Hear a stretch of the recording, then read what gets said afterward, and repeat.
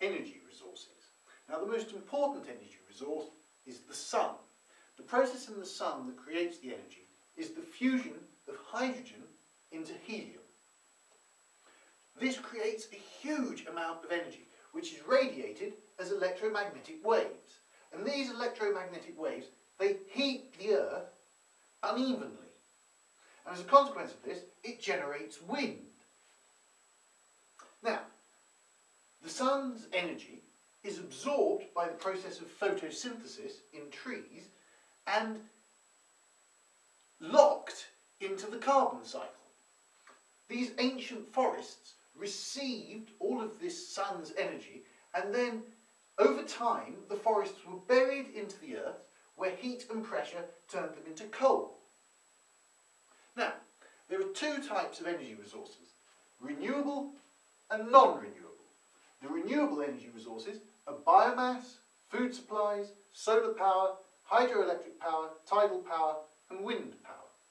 The non-renewable resources are coal, oil and natural gas, which are the fossil fuels created by this process where ancient plants and animals have over time been converted into coal and oil. And the other non-renewable source of energy is nuclear power, because nuclear power requires uranium and plutonium in order to fuel it.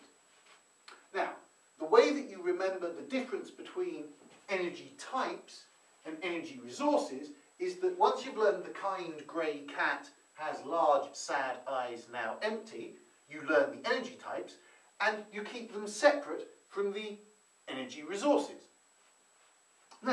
Do we have an energy crisis? Energy can never be created or destroyed. It can only be changed from one form to another. These are the forms explained in the kind grey cat. But every time there is an energy transfer, some of the energy is converted into a type that can't be used again. There's always some waste. There's always some energy you can't get back. We do not have an energy crisis. What we have is a fuel crisis. The fossil fuels